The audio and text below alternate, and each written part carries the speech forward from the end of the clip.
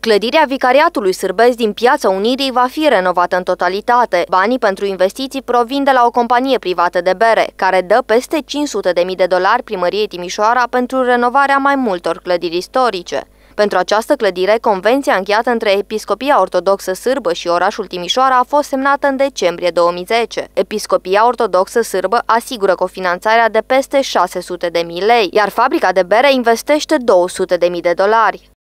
Acești oameni de la fabrica de bere care și-au rătat bunul gust în păstrarea tradiției acestor oraș, așa cum de bun gust este și berea lor, de fapt, au contribuit cu sume importante pe care primăria Timișoara le-a dirijat așa cum trebuie. În primul rând vreau să-i mulțumesc domnului primar, doamnei Aura Junie, doamne, domnului Ovidiu Purdea și echipe de la primăria Timișoara, care a ales clădirea noastră.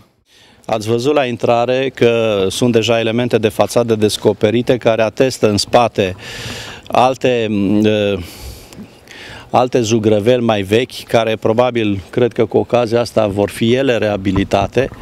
E o lucrare destul de complicată pentru că foarte multă parte de ștucatură trebuie refăcută și cred eu că dacă reușim în decurs de un an jumate să finalizăm lucrarea, atunci Palatul Sârbesc, cum se numește, știu eu, va arăta cu totul altfel, mult mai apropiat de ce a fost uh, atunci când el s-a inaugurat în, la începutul secolului trecut și evident că și aspectul pieții unirii va avea de câștigat.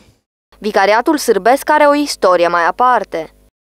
Clădirea a fost proiectată în 1744-45, nu intru în detalii, că a apărut și în cărțile mele, și a fost construită în stilul care se construia atunci, uh, stilul baroc, baroc austriac se poate spune.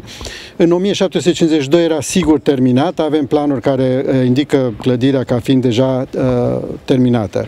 Ei, și în 1904, comunitatea sărbească a vrut ca această clădire, care nu se deosebea mult de structura generală a orașului, să capete să primească un uh, caracter particular, un caracter sârbesc, neosârbesc, să zice, ca stil.